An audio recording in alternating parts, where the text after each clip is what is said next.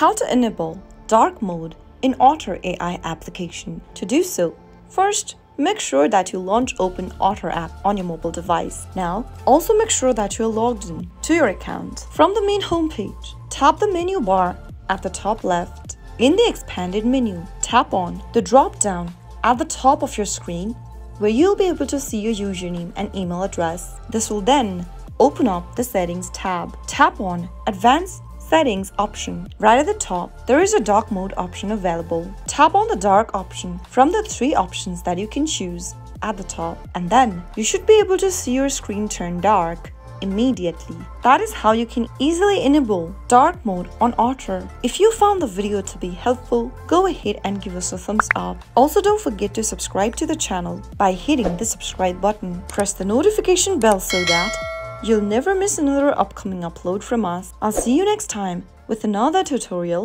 Goodbye till then.